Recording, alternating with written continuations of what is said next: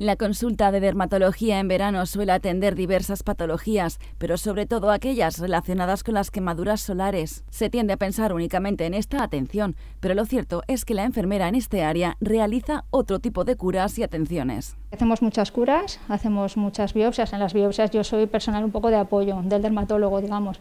Luego hacemos terapia fotodinámica, pues muchas veces educación para la salud con respecto a algunas patologías. El servicio de dermatología tiene la particularidad de tener muchas consultas a demandas y esto es lo que hace indispensable contar con una enfermera para dar apoyo al dermatólogo, educar en salud, así como aplicar técnicas propias de la profesional de enfermería. Es muy variable. Tenemos consultas monográficas en las que se atienden patologías muy, muy concretas, pues como la monográfica oncológica, la monográfica inflamatoria o la de hidradenitis.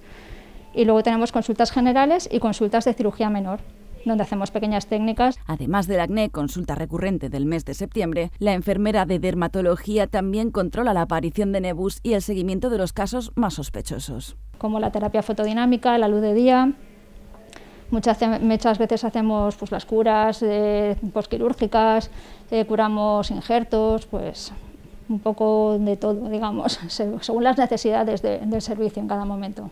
A propósito de la estación en la que nos encontramos, la enfermera experta en dermatología hace un repaso sobre las precauciones a tener en cuenta en esta época del año en la que nos exponemos más al sol.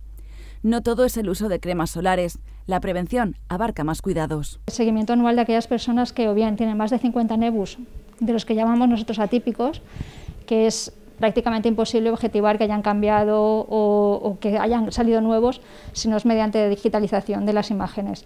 Entonces tenemos el dermatoscopio digital que nos ayuda mucho en esta tarea. Y entonces, pues aquellas personas que también tienen antecedentes de cáncer cutáneo, tanto familiar como personal, o antecedentes de melanoma, son las personas que sí que deben llevar un seguimiento de, de los nebus.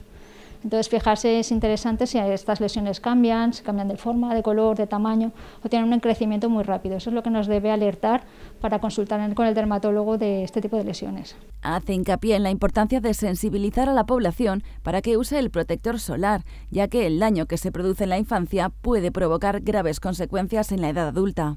En este contexto también hay que prestar atención a unas pautas. Muy importante hoy por hoy que los protectores solares también incluyan la protección UVA. Esa protección equivale más o menos a un tercio de la que indica el, SPF, digamos, ¿vale? Que es lo que recomienda Europa, que resista al agua, al sudor.